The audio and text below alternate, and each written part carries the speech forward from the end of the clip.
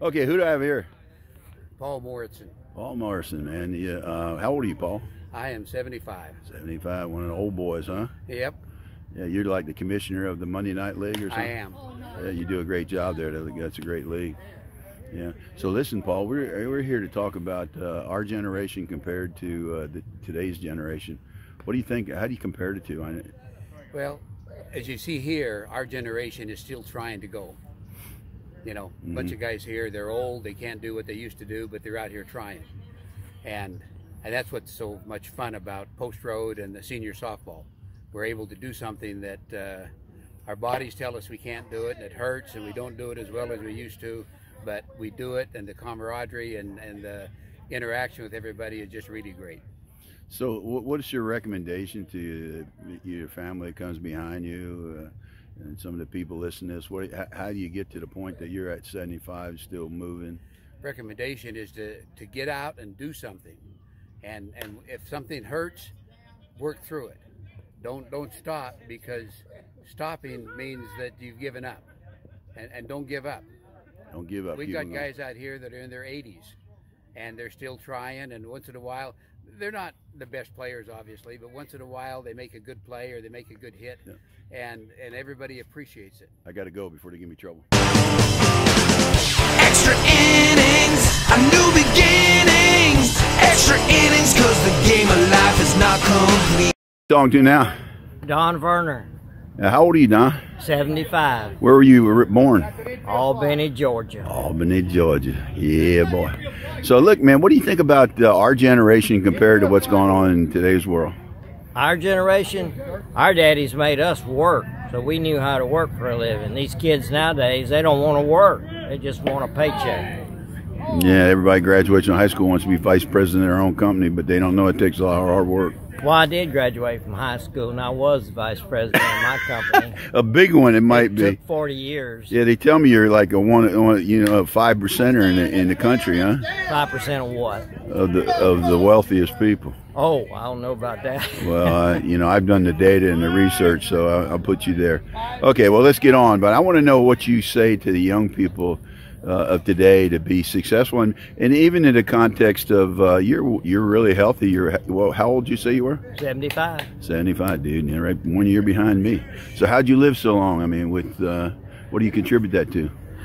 Well, um, I was lucky. I worked for the same company for 42 years. Had good insurance, took care of myself, played ball ever since I was in the third grade. You eat well. Eat good, yeah. What's your diet? I mean, you eat a lot of red meat, or you eat sugar, or what? Steak, potatoes, Oh, really? cereal. Uh, you probably got good good genes, huh?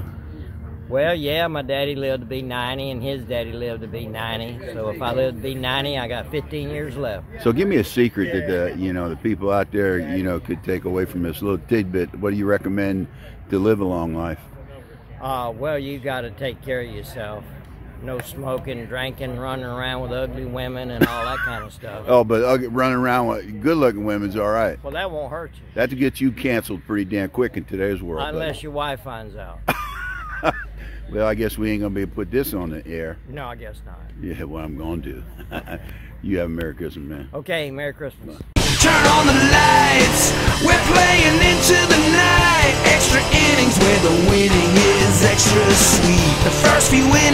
Your teens and 20s. You're just starting out. I talk to you now. Dan Deritani.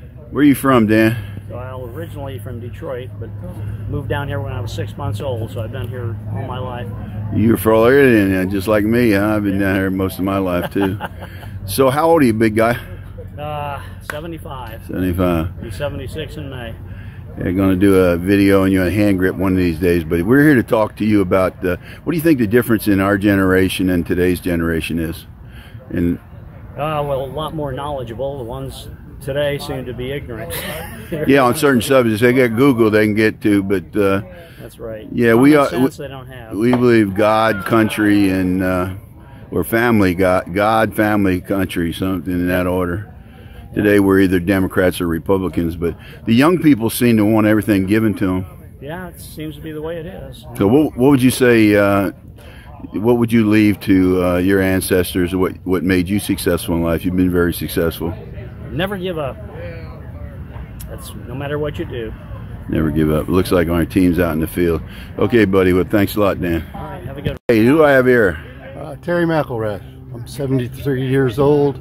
I was born in Iowa, lived there until I was 18, and then went in the Air Force. Air Force. Uh, what were you, general? No, no, I was a senior master sergeant. Okay, E8. one of them bossy guys. Yep, I'm one of the guys that did the work. Oh, that explains everything Yep. out here, man. Yeah.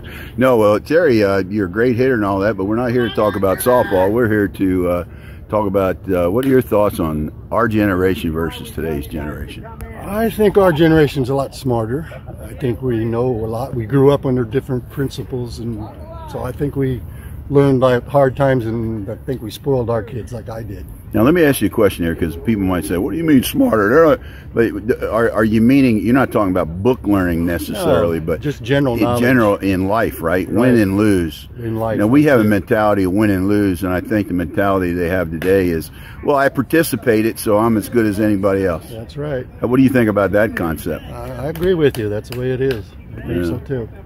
What would you leave to your grandchildren? Do you have a favorite saying, uh, or well, well, look, you're in good shape. You run still in the outfield, and you were how old again? 73. Seventy-three, dude. You still run like a you know a sixty-year-old. What do you attribute that to?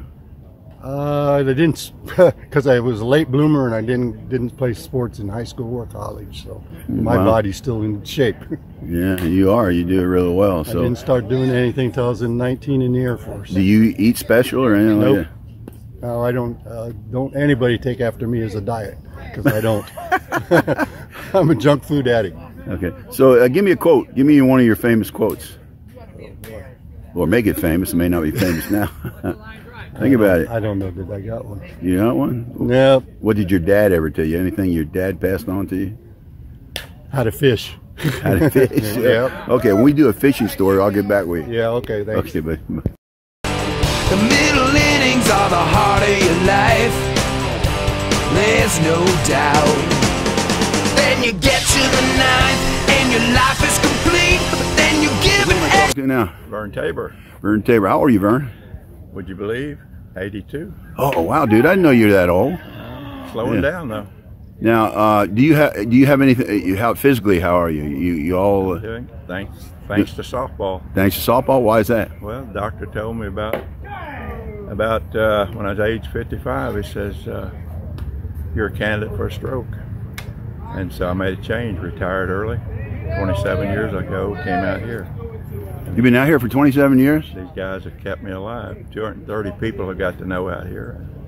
I always ask them, "What do you do in real life?" And it's interesting finding out just what all people. What did you do in real life? I'm interested. I've, you've been out- now. Do you have? Do you have? You can you hear both? You, Oh yeah, it's just I see with one eye. Oh, you got one eye. That's it. Yeah. They, you know, when I first came out, I said, "Man, that guy didn't move on the ball." They said, "Well, he's only got one eye, And a- so we got to get." But and a cataract. well, I'm getting a cataract operation tomorrow. So Tell that's me what- how it goes. Yeah. Oh, is that what it is? Cataract on the no, on the good eye. on the good eye. you need to get. Look, I'm going to do. I will. I will. I'm getting both when of I talked to the doctor, I said, you know, sometimes I don't pick the ball up off the bat. He laughs and he said, "We don't do cataract surgery for that at your Oh. because you're that old. That's right. Well, you know. Well, I like to get back to how these guys treated you because that's a theme out here. A couple of people. Uh, you know, you didn't play ball for a long time. You just came out here and played, and no, I started playing ball at the age, at early age of 31. 31. Never played baseball or nothing, and some guys invited me to church. I came out and saw church people can have fun. Finally came to know my Savior and Lord Jesus Christ there, and I loved softball. And so it's these guys love good you, huh? for my spiritual and my physical health. And I'm going to have to let it go eventually, but uh, Why is that? I got there. I just inducted a guy in the Hall of Fame last week, 91 years old, and he's the, he's uh, you know he had a hell of a spirit, and I think that's what keeps you going. Oh, it is. I mean, there ain't no way I would have thought 27 years ago I'd still be Here. You made some good friends out here, huh? Yes, yes, really have. And out here we got guys at all kinds of levels, you know, Yes, which you know, you know it's all about enjoyment, you know. And you know, Ed, I think I know a little bit about you. Oh, really? that What? You were born in Browns Mills. Yeah, how'd you know? I lived in Browns Mills. No way. Yes, When? I was in. That would have been early 50s. Mirror Lake. Oh God, I was man. I li- I lived on, on what the, Phillips Avenue. I don't Did, remember. did you that know. John Earl and the guy who owned the, the dealership there? Did you? No, but I remember that dealership. Yeah. Went to school in Pemberton. That's where I would have went to school, but then my mother sent me to military school. When we missed a school bus in the morning, you know, Mirror Lake was just a, a skinny lake, and it it's frozen over. And if you You miss know- the school bus, you you, know- just walk across and catch it when it comes around the So you live down near Mirror Lake. Yes. Yeah. uh, So man, we get off camera. We'll do some talking about that. But uh, a lot of people drown there. Oh yeah. Um, Yeah. The I was going to say, you remember that the school that was on the corner there, right, right across from the church at Yeah. that light. yeah. Well, I went to school in my memory there. One day I got so, you know, I was like, I don't like this damn school. I just walked off, dude, and went walked home. Had some great memories there. Oh, just- we, yeah, Browns. How'd you find out I was from Browns Mills? I was watching one of your videos. Oh. I thought I heard you say that uh, you were talking to some Jersey boy, and, and you mentioned something about uh, Browns Mills. I thought that's Well, we got something in common. That's great, man. That's the only thing. You're a Hall of Famer, and I'm just looking. Dude, hey, it doesn't matter about that out here, man. It matters that, that what, what I think what's most important about the game is what you just said about the guys out here. That you know, yeah, we're we're competing, but you know, we're we're just making it friendly for everybody. It is. You know what I mean? It's a lifesaver, and I, I just recommend it for uh, if you want to stay alive after. Yeah. Oh, okay. so sweet. Extra innings, they're a whole new start. You gotta chase your dreams, listen to your heart. The way you play